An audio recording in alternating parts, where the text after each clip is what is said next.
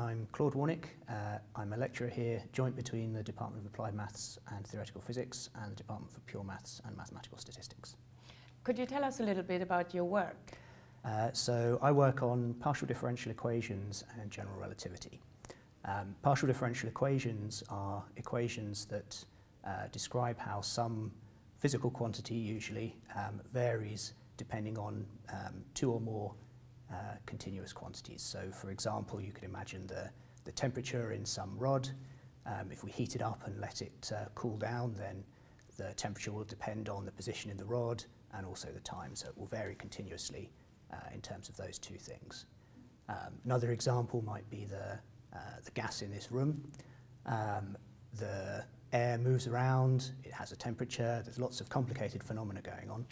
Um, but if we imagine that it's fairly still, then one phenomenon that's uh, particularly interesting uh, is the phenomenon of sound waves. So obviously the fact you can, uh, you can hear me is down to the fact that uh, sound waves are propagating through the air in the room.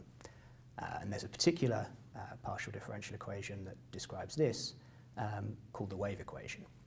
So the, the equations that I'm most interested in are wave equations and equations similar to the equation describing sound in the room. Um, the reason I'm interested in these comes from uh, questions to do with general relativity. So this is our, our theory to describe the gravitational field.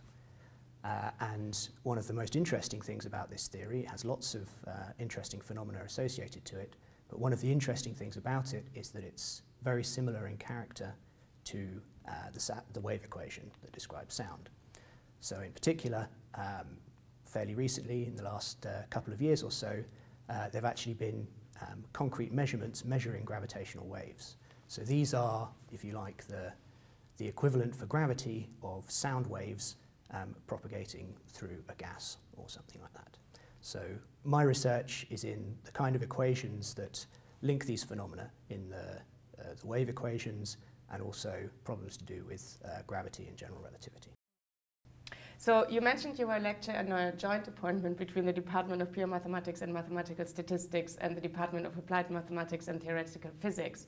So could you describe in a little more detail why your work crosses into both pure mathematics and theoretical physics?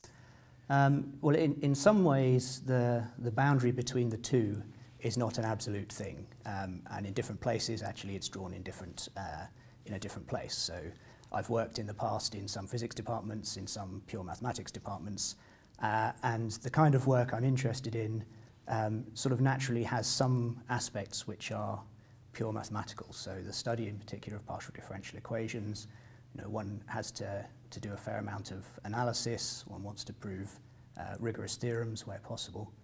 Um, on the other hand, obviously, if the questions you're interested in are things like, um, you know, how black holes behave or uh, how gravitational radiation propagates through the universe. These are very physical questions. So it's, it's very natural to, to, to sort of have a foot in both camps, as it were. Do you think that the blurring of the boundary between pure mathematics and theoretical physics, is that a recent phenomenon? Um, well, I think it sort of goes back and forwards a bit. So if you go back as, you know, way into the distant past of uh, of Newton and so on before even the kind of notion of mathematics as a discrete subject came up, um, then there was a very natural back and forward between um, pure maths and uh, sort of physics ideas. Um, I suppose the more recently um, there's been a bit of a more kind of uh, rigid divide, but I think it's uh, a very natural thing to blur the lines, and I think there have always been people um, who've worked on both sides of, of the boundary.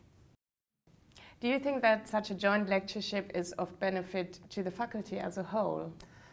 Again, one of the things that uh, that I think about this this difference between pure and uh, and applied maths is that you know the boundary is is not a rigid line, um, and I think you know, in particular for teaching and things like this, there's a lot of value in being able to draw on aspects from lots of different places. I think when trying to explain a concept, you know, the more different ways you can explain something, the more ways you can link it to other, uh, other parts of mathematics, the better and the better chance that students have of understanding. So from the, from the point of view of teaching, I think it's actually uh, quite a valuable thing to be able to link the two, uh, the two departments. So what's the most exciting recent development in your field? Um, well, for me personally, I think the most uh, exciting recent development is the direct measurement of gravitational waves. Um, so, you know, this is something that had been uh, conjectured for, for many decades, um, and only now have we got direct experimental evidence to, to show that these things exist. Uh, and it's a really exciting um, time because it opens a, a window on gravitational physics, a window on the universe, Uh, and I think there'll be uh, a tremendous amount of interesting data coming out of these uh, kind of experiments in the near future. So I'm really uh, looking forward to, to where this discovery goes in the next few years.